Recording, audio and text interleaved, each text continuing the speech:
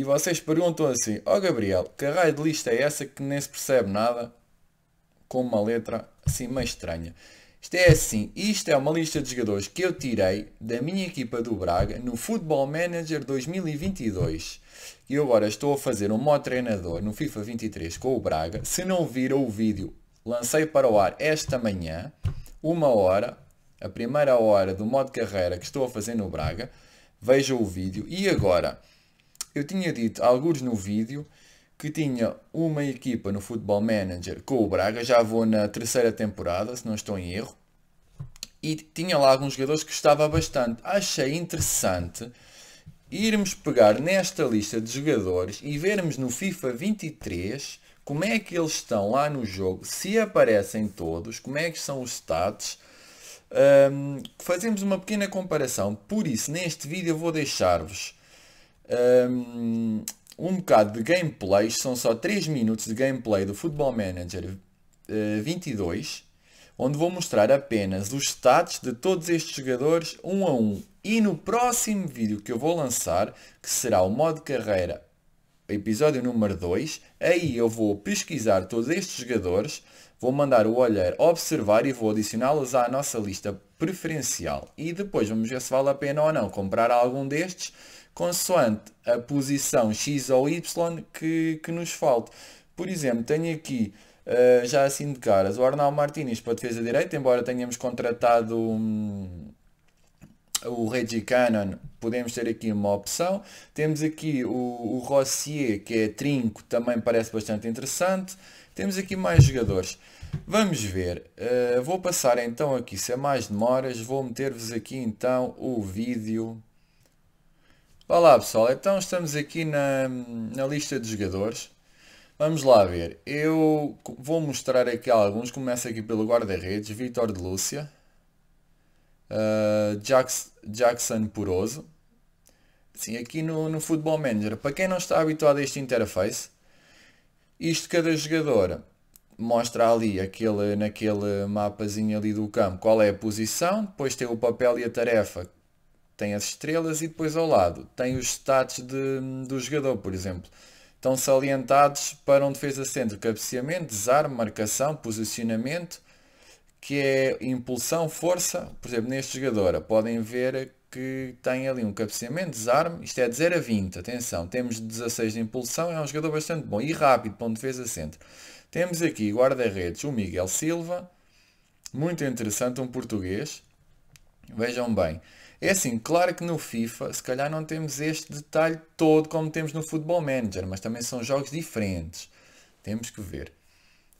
Um, por isso é que eu estou achei interessante esta ideia de tentarmos ver até que ponto uh, esses jogos se aproximam um pouco um do outro, aqui a nível do modo treinador. Eu agora vou mostrar o resto dos jogadores. Temos aqui Andrea Carboni,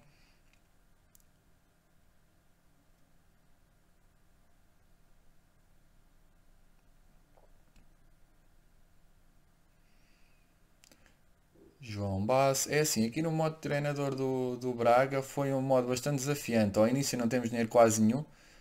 Um, aqui no Football Manager é, é interessante. Tive que fazer muitas vendas, muitas compras. Depois Depois, ao final da primeira época, consegui valorizar bastante muitos jogadores e isso fez com que hum, com que conseguisse impulsionar a equipa para outro nível, para comprar outro tipo de jogadores, para ir para um, ser mais forte em outras competições, para ganhar mais dinheiro nas competições europeias, para depois investir na equipa. E um, vejam bem este jogador, Pedro Pelágio, 23 anos, português, está valorizado em 18, entre 18 milhões e meio e 25 milhões. E eu contratei este jogador por 2 ou 3 milhões. Foi isto que eu fiz na minha equipa e também queria fazer isso no FIFA. Valorizar os jogadores, vender, depois comprar outros e fazer, ir fazendo assim. Aaron Molinas, a minha primeira compra. Na altura foi o meu primeiro jogador que comprei. Uh, Custou-me, não sei se foi 5 ou 6 milhões. Vejam bem, já vale mais de 30 milhões. Alex Colado não jogava no Barcelona, fui buscá-lo a custo zero. O Barcelona não o queria, 24 anos, vejam bem. Finta, imprevisibilidade, excelente jogador. E Lorenzo Luca, este ponta de lança. 16 jogos, 15 golos. 23 anos. Fui buscá-lo também por 6 ou 7 milhões, não estou em erro. Vale 26 a 32. Queremos, quer fazer isto, vamos fazer isto no, no nosso modo de carreira do FIFA 23. Bem, João Costa, um português, também ainda, ainda está a evoluir, tem 18 anos, mas são os atributos muito interessantes. E aqui este ponta de lança, a nível de atributos, não é assim nada, pronto, entre aspas, especial, mas marca muito, muitos golos. É assim pessoal, vamos fazer isso neste modo carreira de FIFA 23. Espero lançar um vídeo talvez amanhã, domingo, sobre hum, com o, o, próximo episódio, o episódio número 2 do modo carreira, a mostrar estes jogadores. Vamos então, como eu disse, uh, fazer a pesquisa com o olheiro, ver o, que é que, o que é que os jogadores têm como atributos, adicionar à nossa lista preferencial.